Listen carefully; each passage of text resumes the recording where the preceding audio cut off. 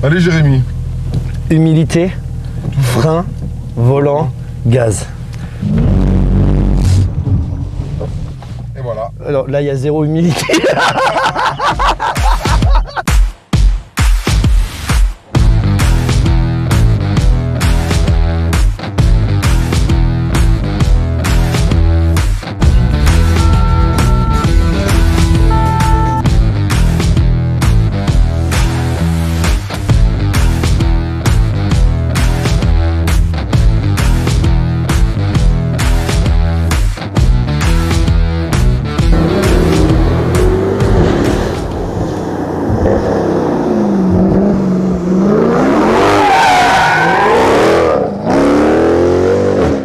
Bonjour à tous les amis, ça fait plaisir de vous retrouver. Aujourd'hui, je vais vous proposer une initiation drift avec le meilleur drifter de la Côte d'Azur, alias euh, Toretto. D'ailleurs, le lien Instagram apparaît juste ici. C'est lui qui conduit et il va nous montrer euh, bah, juste maintenant.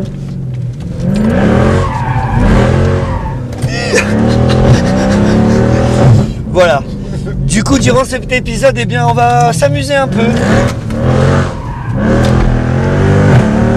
Avec euh, la voiture. Et on va surtout apprendre à mieux connaître le comportement de ce C63. Oui Très beau. Bon Torito, c'est un plaisir de t'avoir. C'est une première, je crois que tu passes hein, sur la chaîne aujourd'hui. On a- qu'on a déjà fait un on a- live pendant le confinement, non? Ouais, on avait fait des lives pendant le confinement, mais je veux dire un vrai vlog Ouais, c'est vrai. où tu prends, euh, tu nous, tu nous montres un peu les voitures. Là, entre autres, c'est avec la mienne. Écoute, je suis surpris par ta voiture, j'aime beaucoup. J'aime bien le châssis, son comportement. La voiture est quand même bien posée. Et puis ce V8, il est très onctueux, Ah. très agréable. C'est vrai qu'elle est très, eh, pour son gabarit, elle est bien équilibrée. Quoi. elle est bien équilibrée, la caisse, elle est bien posée. Et puis tu peux cruiser, tu peux, tu peux la mettre en mode énervé. D'ailleurs, c'est ce qu'on est en train de faire C'est là. ce qu'on est en train de faire. Je vais essayer de- que tu puisses rentrer à la maison quand même. Ouais, Parce qu'on est dimanche. exactement, ça va être compliqué de trouver des pneus. Mais c'est vrai que, tu vois, moi je suis content que tu me montres un peu comment drifter avec cette voiture parce que les quelques fois où je l'ai essayé, je me suis vraiment fait très très peur. Elle est, elle est extrêmement sensible parce que bah, tu as, une pédale électronique. Donc, le- si tu mets un petit peu trop de, de pression dans la pédale, tu pars vite en enfer, quoi, comme dit l'autre. C'est hein. un petit peu difficile à la doser. C'est toujours la même technique, la glisse. Alors, c'est quoi la technique de la drift, de la glisse finalement? Alors, Parce que la glisse. hein. comment on, on fait glisser une voiture et comment on arrive à la garder hein? Bah, écoute, le, le problème, c'est que souvent les, les gens qui essayent, hein, ils ont tendance à mettre un gros coup de gaz et ne pas soulager. Alors moi, ce que je fais, c'est que je mets un coup de gaz pour la faire partir, je relâche la pédale et après je pompe avec, avec les gaz pour la tenir. D'accord. Mais il faut impérativement relever le pied à partir du moment où elle part. D'accord. Voilà, parce qu'en fait, où elle part, si tu continues à mettre des gaz, automatiquement, tu vas te la mettre en tout. Ce qu'il faut surtout éviter, c'est que quand la voiture part, ne vous prenez pas pour euh, Ken Blog. Ouais. C'est fini, elle est partie, vous l'avez perdue. La première chose à faire, c'est mettre le pied sur les freins et arrêter la bagnole. D'accord. C'est vraiment ce que je conseille. Alors, c'est-à-dire que quand tu sens que tu pars en couille, il vaut mieux planter les freins Direct, direct. direct. Parce que si D'accord. tu penses que tu vas la rattraper, ah ben, tu vas à la casse. hein. Ah ouais. Comme on peut voir certaines fois sur, euh, Ouais. sur le net. Ouais. type une, une Lambo, une C63.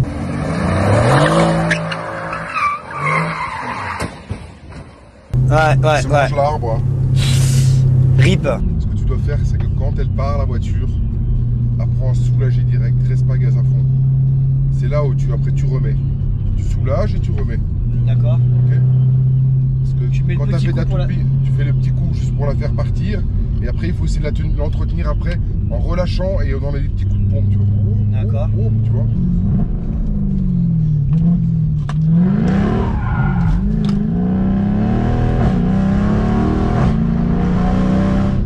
Les gens ont tendance à mettre beaucoup trop, trop de volant. Donc, ce qui fait que la voiture, ben, c'est fini, elle fait la toupie. C'est D'accord. C'est les gaz qui font tourner la voiture. C'est-à-dire que tu mets une légère pression un peu forte au départ et tout de suite tu relâches une fois qu'elle glisse et quand tu veux la récupérer, tu remets des petits filets de gaz en fait. D'accord. On va le voir là, juste maintenant d'ailleurs. Donc moi je le, je le fais en première. Ouais. J'arrive, je freine, première, je tourne, gaz.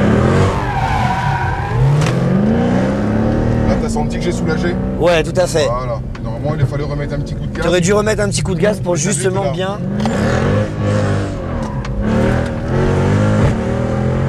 Et la pédale est très sensible. C'est là où est la difficulté sur cette Ouais. voiture. Hein. Donc le petit volant, gaz.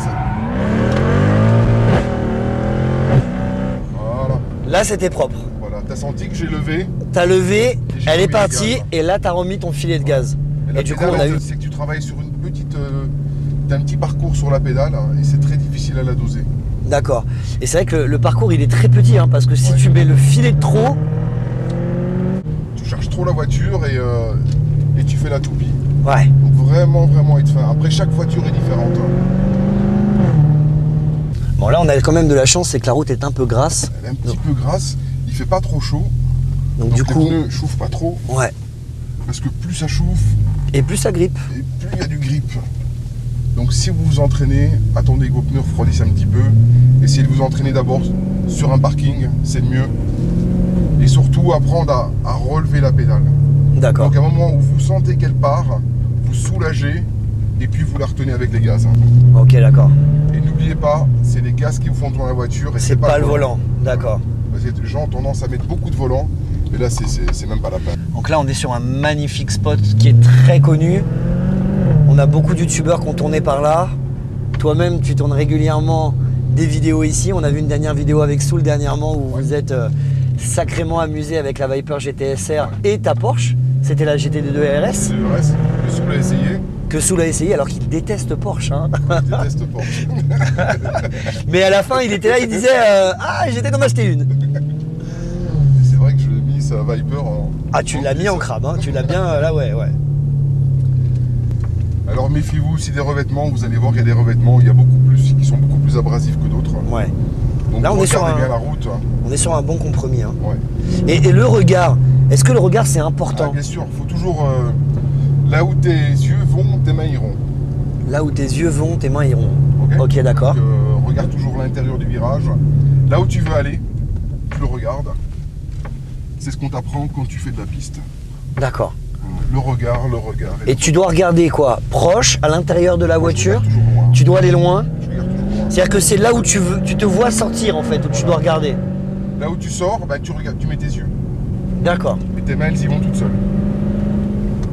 Et ça, pour vous entraîner, le mieux, c'est de descendre le fauteuil le plus bas possible. Comme ça, tu es obligé de regarder loin. D'accord. Bon, gaz, arrive avec de la vitesse. On va un petit peu déséquilibrer la voiture.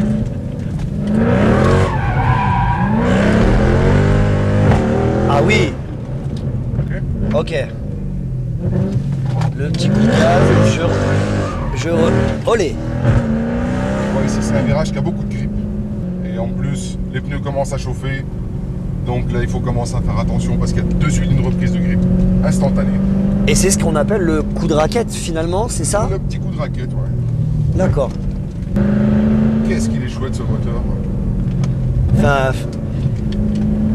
Et moi, ce que j'aime beaucoup, c'est ce volant. hein. Le volant, il, est, il a une, t'as une bonne prise en main dessus, quoi. Écoute, c'est la première fois que je vois ce volant. Il est très agréable. Bah, tu m'as dit le prix en plus. Ouais, on est dans les C'est 1500 balles à peu près. C'est pas cher. hein. C'est un volant qui a été fait par SW Custom. Parce que je pense que si tu vas chez Mercedes, que tu prends le volant sans les LED, je pense que tu le payes plus cher. Euh, ah oui, oui, tu tu frôles les 3000 balles, je Ouais. pense. hein. Euh, Le volant 507, il pique un petit peu en tarif. hein. Donc, n'oubliez pas, vous arrivez avec de la vitesse, c'est frein, volant, gaz. Frein, volant, gaz. Voilà. Le fait de mettre le frein, tu vas déséquilibrer un peu la voiture. Délester la voiture. Tu remets, ton, tu remets l'angle dans le volant, tu réaccélères avec un coup de pression, tu relâches quand elle commence à glisser. Et quand tu veux la récupérer, tu remets pas un coup de pied planche, tu remets des petits coups de pompe. Tu essaies de pomper avec le- la pédale de gaz. Et tu, et tu joues sur quoi en fait Amplitude, Ouais, ça, c'est à toi le sentir. C'est vraiment au feeling C'est au feeling. D'accord. Voilà, donc moi ce que je vous dis, c'est entraînez-vous sur un parking, de préférence quand c'est mouillé, parce que les différentiels ils prennent quand même, Eh oui. ou les autoblocs. Donc euh, entraînez-vous sur un parking, juste à déjà essayer de la faire partir. Hmm. Voilà. essayer de pas faire euh, genre je bloque le train avant quoi. Pas tourner sur place. Vraiment essayer de faire un, beau donut bien propre. Bon, bah, comme tu as pu le voir, voilà, on va laisser refroidir un peu les pneus. On a fait quelques petites prises de vue de l'extérieur. Et maintenant, ça va être à moi d'essayer. Alors, ma dernière expérience en termes de drift, je suis pas un drifter professionnel. Je te cacherai pas que c'est quand même mon bébé. C'est une voiture que j'ai que j'ai trimée pour pouvoir m'offrir. Donc, je ne veux pas l'envoyer en enfer. Mais euh, c'est quand même euh, important, je pense, bah, d'essayer un petit peu de comprendre comment la voiture se comporte. Ça évite bah, d'avoir de mauvaises surprises si jamais ça venait à m'arriver. Et c'est vrai que j'ai vécu une expérience euh, que tu peux voir là dans la vidéo. Allez, putain de là, Allez, mon Dieu.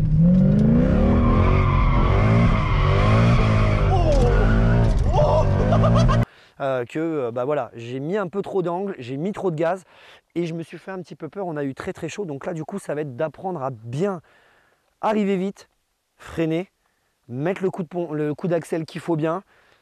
Hop, tu braques et après ressoulager un petit peu avec l'accélérateur. Frein, volant, gaz. Allez Jérémy.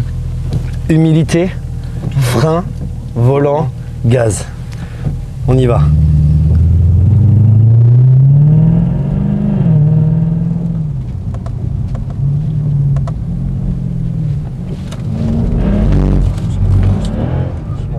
Voilà. Tu vois, tu as fait bon. Tu aurais dû attendre qu'elle parte. Et puis quand elle est placée, tu as remis bien ton volant, hop, tu, tu joues avec. Tu pompes avec les gaz. Ouais, et surtout, il y a une bonne position de conduite. Ouais, je suis. J'ai euh, j'ai- calé un petit peu Jérémy par rapport à sa position. Essayer d'être un peu près et de toujours avoir le volant, que vous puissiez faire quasiment. euh, Ouais, mais là je suis très bien en fait. hein. voilà. Vu, à l'aise. Je suis, beau, je, suis, je suis mieux qu'en position allongée couchée quoi.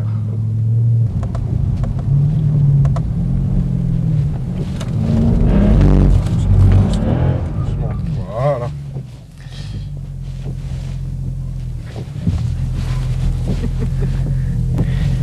Il est pas facile. Hein. Elle est pas, la, la pédale d'accélérateur est très fine et en fait, euh, Et c'est ce qui m'a le plus perturbé sur ta voiture. mais vraiment je mets rien en fait. Ouais. Je te jure, je, je mets une, une petite pichenette quoi, tu vois. Allez, c'est parti.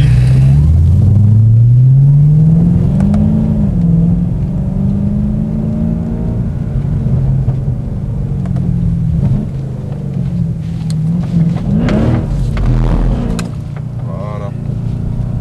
Ok. Je préfère que tu fasses ça plutôt que tu me fasses une toupie. D'accord.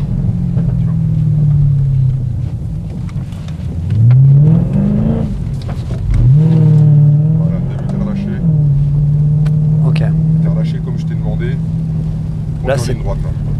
Il y a des stages qui existent. Que tu proposes d'ailleurs que je toi propose comme euh, Pégase. Ouais. Voilà, c'est une très très bonne école de glisse. C'est pas si cher que ça. Alors justement, c'était une question que beaucoup vont se poser. que- et c'est même une question moi aussi qui m'intéresse à titre personnel. Combien il faut compter pour faire un vrai stage de pilotage et, euh, et apprendre les secrets de la glisse On est entre, euh, je pense, on est dans les 900 euros. Ça dépend des circuits. D'accord. Voilà. Castellet, c'est un poil plus cher parce que la piste est plus chère à la location. D'accord. Mais sinon, voilà, on est au niveau des 900 euros, c'est pas, c'est pas si cher que ça. Le soir, vous rendez les clés et après, c'est plus votre problème. Et tu tournes avec ta voiture personnelle tourne on te met. Des, euh, bah, dispo, il a des M3, des M4, il a une Porsche 997, il a une, une Supra, Toyota Supra, Oh MK4 MK4, ouais. Ça c'est ma Il a voiture. encore, il a euh, des Alpines. Et il a des. Comment ça s'appelle les Subaru là avec le 4 cylindres là GT86 Ah oui Il a une GT86 et il a la même en Toyota. D'accord. En En, Subaru. en Subaru, ouais, la BRZ. BRZ, voilà.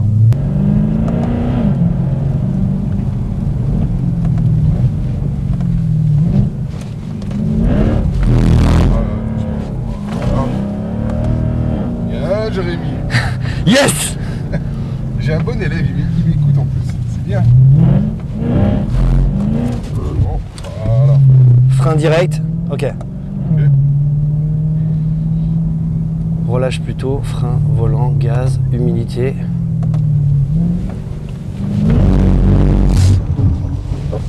Et voilà, Alors, là, il y a zéro humilité.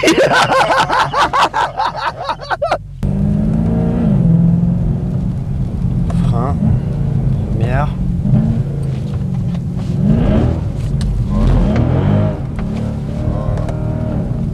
Ok.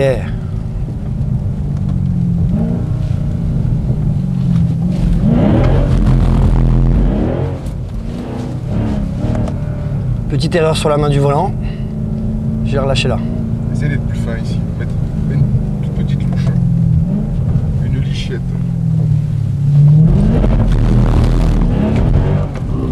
Voilà. Bon ben je pense que c'est bon. Hein. C'est pas trop mal, hein. On va se faire une petite dédère. On va essayer de faire une dédère un peu propre.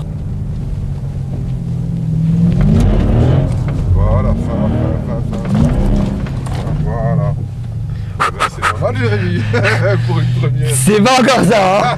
Je pense que certains vont bien nous mettre des commentaires, ils vont bien me charcler. Mais voilà, tu tournes quand même avec une voiture qui vaut un peu de 60 000 balles.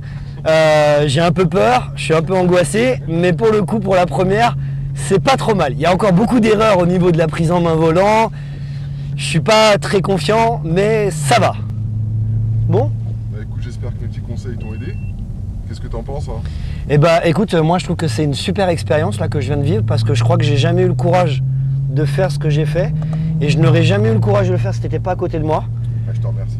Je te remercie pour la pédagogie euh, que tu as eue, euh, frein, volant, gaz, humilité, sagesse. Voilà. Si vous sentez que vous perdez la voiture, ne vous prenez pas pour un héros parce que vous allez tout de suite à la casse. hein. Donc, Ouais. dès que vous sentez que vous la perdez, même vous la freinez et vous recommencez. Yes. Sur ce, les copains, c'est ici que s'achève. Nous, on va les manger. hein. Sur cette petite balade du dimanche. Certains vont à la messe, nous d'autres font du drift. Nous, on a choisi l'option drift. Donc maintenant, on va cruiser gentiment et on espère que cet épisode t'a plu. N'hésite pas à t'abonner, petit pouce bleu. Sois pas trop méchant dans les commentaires parce que je sais que je suis pas très fort en drift. hein, c'est bien. Mettez des commentaires, c'est Ouais, claquez-moi. Oui, mettez bien beaucoup de commentaires, ça fera monter la vidéo dans l'algorithme. Sur ce, on vous souhaite à tous une très bonne journée, un bon dimanche et puis à bientôt. Ciao